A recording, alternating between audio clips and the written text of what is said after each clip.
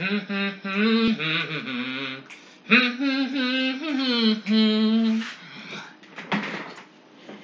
Easter, everyone. Let's talk about the classic Here Comes Peter Cottontail, which is celebrating its 50th anniversary today.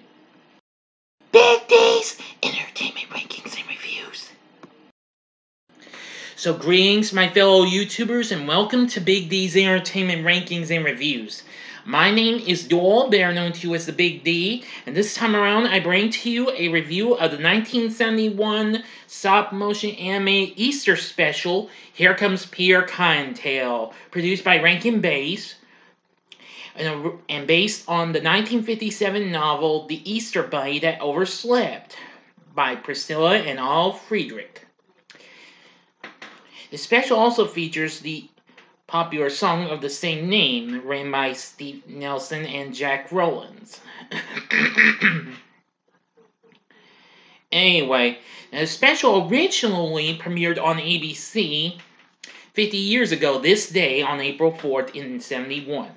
Of course, in later years, CBS, Fox Family before ABC Family, and Freeform as well as the CW and Cartoon Network have aired. I've caught it a few times, but not a whole lot, like I usually do with the Christmas specials that the studio had actually done.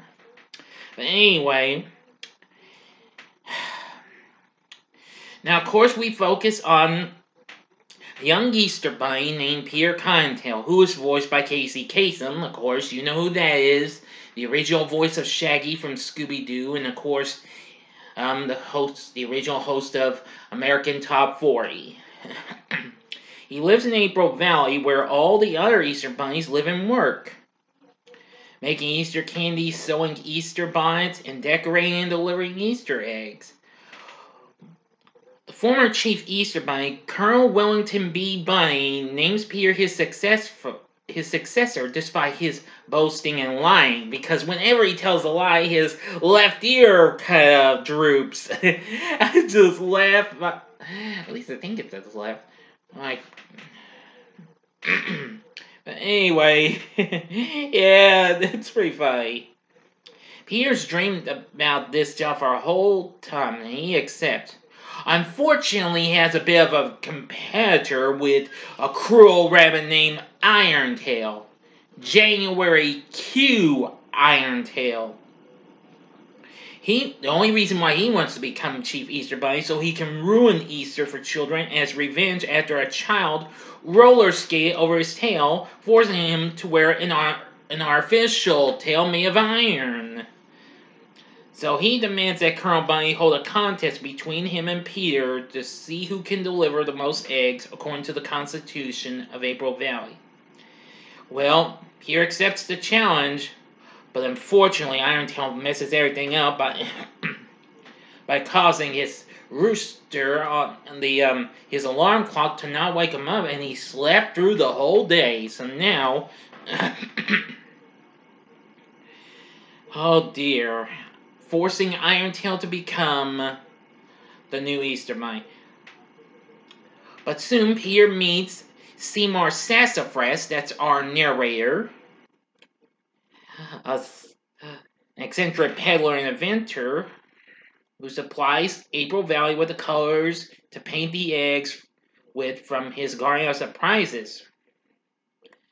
So he lets Peter use his Yestermorrowbile a time machine piloted by Antoine, a caterpillar. But anyway, that's all I will tell you. But I gotta tell you, once they get going, the fun really begins. Uh, they go, they have to go through all sorts of various holidays and what have you. They even they meet several characters, most mostly Santa is one of them, as a matter of fact.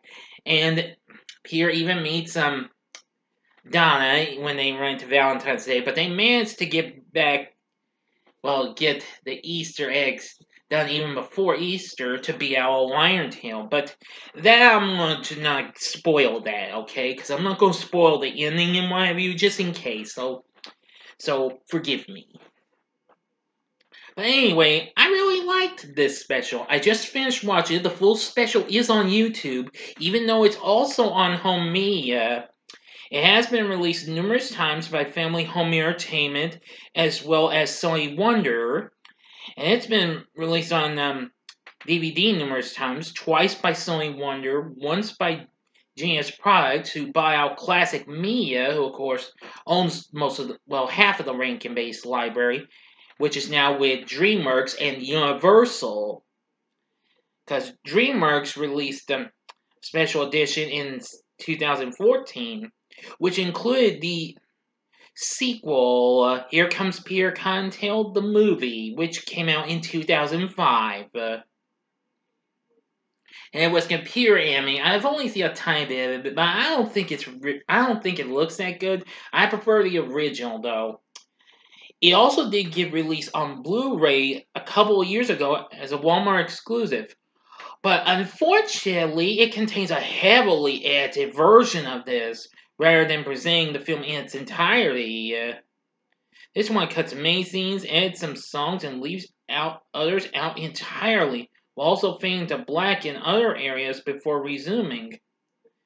And the edited Blu-ray version runs nearly 10 minutes shorter than the actual original, which runs about 50 to 51 minutes. Yeah, the same release was extended beyond Walmart to all Mia retailers the following year last year, but it contains the same things, so you might want to be careful with that. But anyway, I really loved Here Comes Pierre Cottontail. It's a really good special, and this would actually be the very first um um um, excuse me, Easter special that Rankin Bass would do. They would also later on do the um, the story of the first Easter rabbit, I think that was called in '76, which was narrated by Burl Ives, of course, you know, the narrator of Rudolph the Red-Nosed Reindeer. And the following years, the Easter, um, the Easter Bunny is coming to town, uh, which was narrated by Fred Astaire, who recently did Santa Claus is coming to town, which actually came out a year before this. Well, actually, just a few months, as a matter of fact. But nevertheless, it has a pretty good cast and what have you. Casey Kasem, I mentioned, voices the title character of Peter Cottontail. Seymour Sassafrass is voiced by Danny Kaye, who also does Colonel Wellington B. Bunny and Antoine. We have Joan Gardner, Paul Frees, Iris Rainer, Greg Thomas, and Jeff Thomas. And as Irontail is a guy who certainly is no stranger to being all, well, playing a scary type of character or a meanie, Vincent Price. So anyway, I liked it. The story's really good, and I do like the songs as well. That was really good. Yeah, it was really good. Uh, so anyway, this just had so much fun. Also, it has some very good songs like the Easter Bunny Never Sleeps, where it has two versions, like it's a difficult, just like it's a difficult responsibility from Santa Claus has come to town. A nice version and a diabolical version. But anyway, with great characters, a great story, and well, great and magic, like Rankin Bass for Rudolph and Santa Claus is coming to town. Would I recommend Here Comes Peter Cottontail? Yes, I would. It's a very good movie, even though it, well, it's sort of a movie, but a special though. But anyway, this would be a pretty good special. I think you'll really like it, and I think you ought to get your kids to watch it. I mean, now if you don't have it on physical media, you could still probably get a DVD for a reasonable price, I do believe. But if you can, just look it up on YouTube. The full special is on YouTube. So what are your thoughts on Here Comes Peter Cottontail? Please tell me in the comments section below. If you like this video, click the like button below, subscribe to my channel as well, and be a part of the Big D Nation.